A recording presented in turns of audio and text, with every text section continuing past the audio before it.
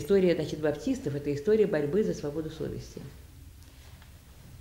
и отделения церкви от государства. В те времена никто понять не мог, в те времена, когда возникал баптизм, что такое свобода совести. Папство, например, не мыслило себя без королевской власти. Э, королевская власть имела санкции, подобные э, государству Израиля. Там, помните, роль царя. Главными чертами государственной церкви поэтому были едокрещенство и нормативное. Это очень большая особенность. И нормативное богословие. Нормативное тебе говорят, как ты должен верить. Вот, это норма. Баптисты, вы знаете что, по-настоящему, это может быть искажено иногда временем, обстоятельствами. Иногда, понимаете, церковь, которая вышла из гонений, вышла из-под давления преследований, преследование очень плохо сказывается на церкви. Страдает образование, страдает богословие, страдает э, церковь, очень, э, помимо страданий вот, тюрем и, и таких страданий физических, очень большие потери идут вот, в развитии образования, богословия и в развитии истории. Э, принцип такой баптизма, что у нас нет нормативного богословия. Мы можем дискутировать, да, у нас есть, мы, мы знаем, во что мы верим. Но вы понимаете ли, э, э, в Библии сказано, кто прибавит к Библии, кто убавит, там, анафема тому, да? Но Библия не меняется, но наше понимание Библии, оно меняется. Вот, например, ведь это же в последние времена прочитали эти слова «идите, научите все народы». Понятие миссионерства, евангелизма как обязательного, как непременно, ведь без чего церкви нету. Ведь если церковь не проповедует вовне, она сама внутри теряет. Церковь никак не может быть клубом. Но эти мысли для нас новые, потому что мы были вынуждены, когда церкви закрывались в 29 году, они закрывались с принципами, слушайте, чтобы не было церкви, пять требований выставили наше советское государство. Эти же требования выставили, когда были, было отделение. Это сатанинские принципы. Так вот, чтобы церковь отсутствовала, при том, что ее не закрыли. Вот она открыта, но ее нету. Эти принципы были. Первый принцип – это э, только исполнение, в общем, внутри церкви должны проходить все э, культовые дела. То есть проповедь, там какие там обряды, какие внутри церкви. Не высовываться. Никакого миссионерства, никакой евангелизации. Понятно? Это первый был принцип. Второй – никакого милосердия, никаких тайных касс, никак все денежки сюда, открыто и государству. Вы поняли? Значит, никакого, слово милосердие было объявлено буржуазным словом исчезла в словарях. И чтобы не было работы с тремя группами людей. Ну-ка угадайте. Дети. Дети. Молодежь. Молодежь. Женщины. Значит, если ты хочешь, чтобы у тебя была бурно растущая живая церковь, у тебя должна быть евангелизация, у тебя должно быть милосердие, у тебя должны быть дети, подростки, женщины. Понимаете? И поскольку это внушалось и 70 лет, то многие церкви это приняли как нормальный образ жизни. Имейте в виду это. Это привычка уже выработанная. История баптистов – это за свободу совести. И это то, что баптисты добыли для себя и для всех других, кто после них. Ясно? А всех этим открытием оплодотворили. А теперь дальше следующий шаг. Надо осваивать это богословие, которое наше собственное, мировое. У нас э, это то, чем вот вы готовитесь к тому, чтобы вы могли воспринимать богословские идеи. Потому что в церквах их еще э, в массе богословские идеи с большим трудом воспринимаются. Так, ну ладно. Все другие деноминации являются должниками баптистов, потому что они обеспечили свободу совести для всех. Это факт. И история баптистов – это история почти непрерывных гонений. Потому что отделение церкви от государства воспринималось как анархия, мятеж, вообще бандитизм какой-то. Вспомним, как относились к, церкви, к первой свободной церкви на баптистов. Как их преследовали, топили. Баптисты приносили гонения и на континенте. А потом будем говорить про заселение Америки. Преследуемые на континенте, в Европе, бежали в Америку. Америка состоялась из людей, вот это, туда гугеноты бежали, пуритане бежали, пили, вот, понимаете сепаратисты бежали, и баптисты бежали. Так в Америке бапти... и, баптистов и в Америке не признавали. Вы понимаете, они признавали все деноминации, потому что баптисты были за отделение церкви от государства. А пуритане стремились свою цель, свое государство создать и подчинить. Там не было государства, а там старые пуритане, они господствовали над новыми приехавшими. Тоже сейчас будем истории изучать их. Ну вот. И только благодаря неустанным усилиям граждане и Европы, и США свободны сейчас поклоняться Богу в соответствии с требованиями их совести, будь то баптисты, католики, евреи или еще кто-то. Мы признаем. Баптистское богословие многим обязано английскому сепаратизму.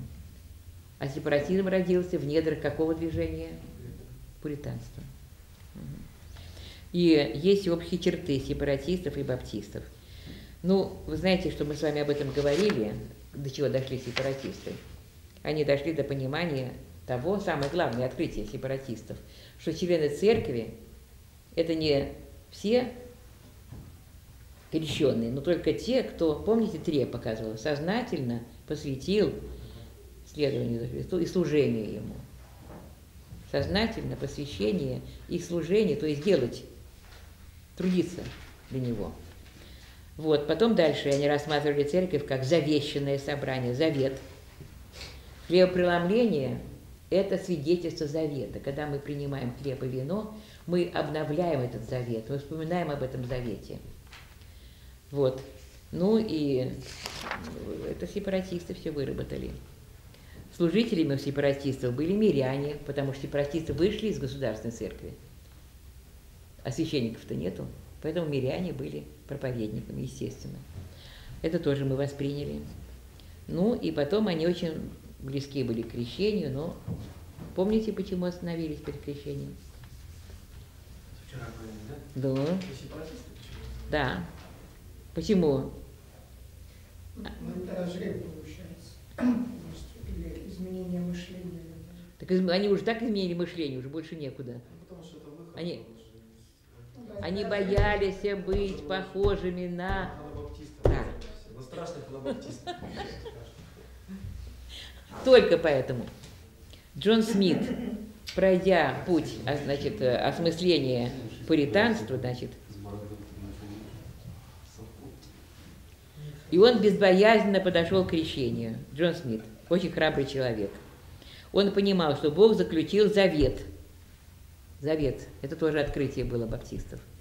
Не с миром, а с церковью, с обществом святых. И сразу же возник вопрос, кто такие святые? Он берет слова. Мы читали, что Христос соделался для нас премудростью от Бога, праведностью и освящением. Кто святые? кто освящен Христом, кто во Христе находится. Те святые. И только от Бога одного вы имеете жизнь. Я хочу обратить ваше внимание, как Павел тщательно избегает того, что Бог соделал. У него всегда через Христа, во Христе. Христос, значит, только от Бога одного вы имеете жизнь. Дальше он пишет, через Иисуса Христа. Он явил нам Божий план спасения, сделал нас приемлемыми для Бога. Кто-то сказал, уберите Христа из Писаний, и вы имеете только Нет. ярость и гнев Божий. Поэтому все время Бог во Христе. Бог через Христа. Помните это версия замечательное «Так возлюбил Бог мир». И я жду, дальше будет написано, он так возлюбил мир, что он решил всех простить. Да, но там написано, что дал Сына, что всякий верующий в Него имел жизнь весь. То есть не Бог, но Он дал нам спасательный круг, и мы должны взять этот круг. Не, не взяли, тонем. Понимаете ли? Поэтому нельзя говорить, что Бог нас простил. Христос умилостивление за грехи. Да. Через Христа простил. Принимает нас Бог, нельзя говорить. Он принимает нас во Христе. Без Христа Он нас не принимает. Это хорошо всем понятно? Потому что люди очень охотно говорят, Бог милостив, Бог простит, Бог там ответит, Бог... Он, кто, кто отвечает, кто нас слушает, кто ходатайствует, кто посредник вообще? Мы не можем прийти к Богу, огонь поедающий. Он посредник. Поэтому Христос это центр всего благовестия, всей нашей веры. И, и Павел очень, последите, почитайте Евангелие. Вы никогда не уйдете, Бог там что-то сделал. Бог сделал во Христе через Христа. Мир создавался Христом.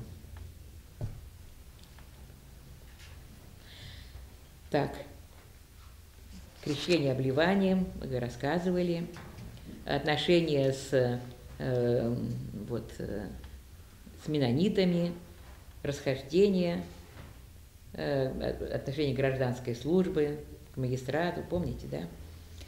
Но Хельвис, который потом наследовал этому Джону Смиту и пошел другим путем, Джон Смит ведь серьезно обдумал вопрос, а почему я сам крестился, а не принял крещение от менонитов, которые уже крещены библейским крещением? У него был серьезный вопрос. Вот Хельвис сказал, правильно ты сделал. Да, не, да, что мы все-таки не менониты, а мы начинаем новое направление. Вот. Ну и э, это убеж- убеждение потом стало вот выражаться, но выражаться в практических делах баптистов. Но я хочу сказать, что Хельвис сказал о своем наставнике, о Джонни Смите. Мы все не стоили одного его мизинца. Очень высоко оценил Джона Смита. Вот. Ну и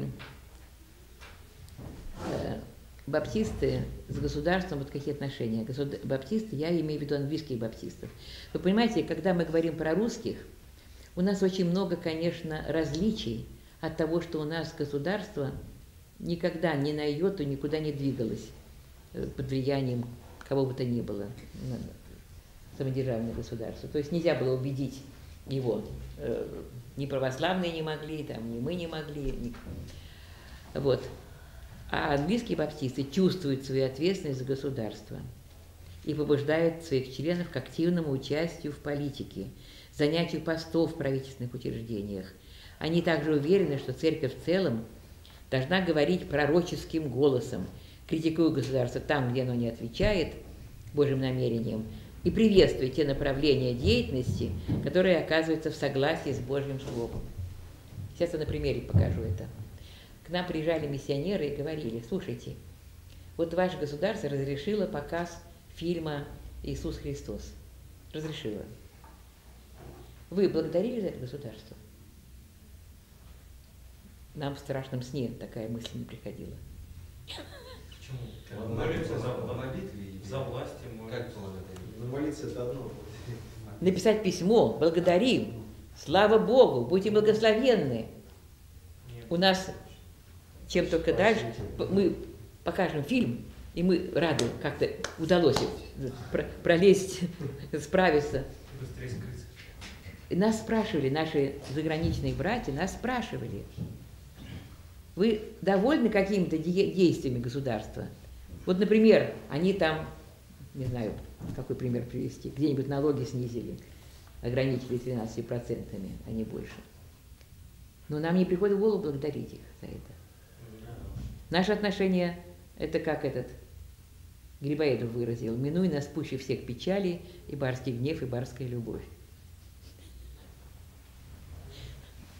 Нам не нужно никаких отношений, потому что приблизишься к государству, глядишь, окажешься совсем не там, где ты собирался быть. Э, Я имею в виду даже не то, что тебя посадят, а ты будешь э, неправильно понят обществом. А английские баптисты, они одобряют свое правительство, они ругают свое правительство. Они говорят, это молодцы вы, а это зачем вы так сделали? И митинги, и демонстрации, и газеты, и пишут, и, и, и тот должен извиняться и отступать. Там, Буш какой-нибудь, например. Поэтому здесь у нас, конечно, полный... Может, у нас боятся. Так, ну, относительно так, Хельвис. Так, теперь слушайте, значит, это первое начало возникновения баптизма, мы с вами читали, говорили об этом, да? Э, Послушайте, теперь случилось в 1648 году, Англия стала буржуазной республикой. Они изгнали короля своего, сняли короля, они казнили короля своего. И стала республикой. В 1648 году, вот как раз когда 30-летняя война кончилась, буржуазной республикой. И во главе стал Кромвель. Кромвель, который был главой парламента. Это вообще такое отдельно изучать, это сказки. Как это кор- короля, как это уни- уничтожить короля. А там ведь э, в Англии был король и был парламент. И парламент играл очень большую роль. И парламент мог не соглашаться с королем. И вот как парламент, он, значит, его осудил, засудил. Извините, король кто был? А король был Карл. Карл какой-то первый. Какой-то Карл. Нет, не пятый, это не. казнили, да? А вот Карл II, он вернется из-за границы, куда он убежит, его сын, и будет э, после Кромвеля опять э, Карл. Ну, По-моему, Кромвель самый представитель да? Значит, это был лорд-протектор, глава парламента, победившего в своем противостоянии королю Карлу Первому. Страной стал править парламент. Послушайте, какие сказки. Парламент святых из одних конгрегационалистов. Сам Алиева Кромвель был конгрегационалистом. То есть короткое время в Англии правили протестанты. Во главе государства стояли, стоял Кромвель. Он пытался, Кромвель, править страною с Евангелием в руках. Кажется, чудо какое. Но Господь сказал, кесарю кесарева, Божье Богу. Нельзя, не получается. Ты не... парламент превратился в серию проповедей. Каждый выступающий не дело решал, не законы принимал, не проблемы решал, а проповедовал. Он был министром. Он не министр, он был главой государства и страны. Всей- страны, Кромвель. Томас. Томас. Оливер Кромвель. Томас Кромвель это герой э, во время Елизаветы. Елизаветы. Вот, каждое заседание превращалось в богослужение. Все речи были проповедью. Э, Хотелось создать царство святых на земле. Но это недолго было. Кромвель... А? Жаль, телевидения не было. Могли Да.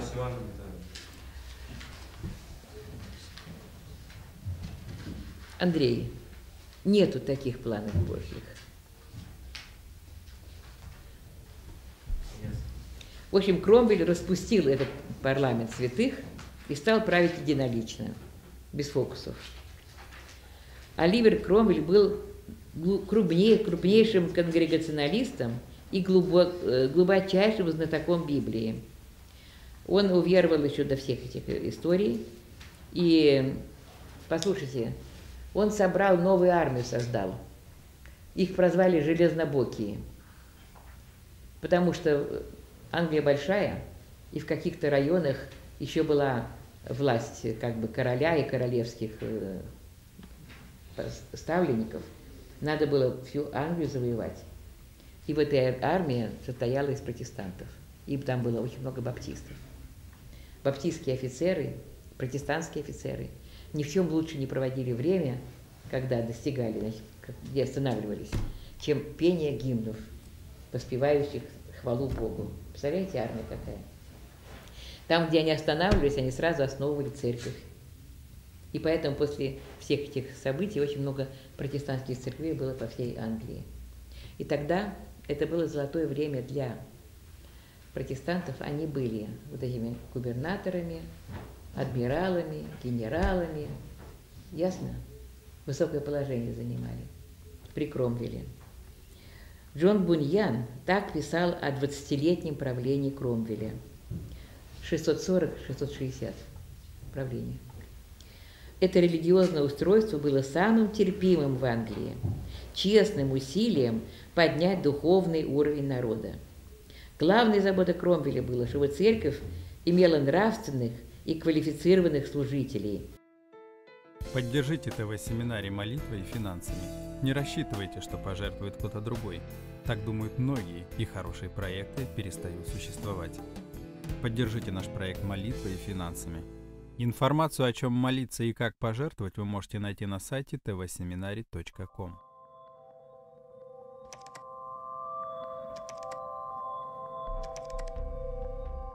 Ищите нас в поисковых системах по запросу ТВ-семинарий.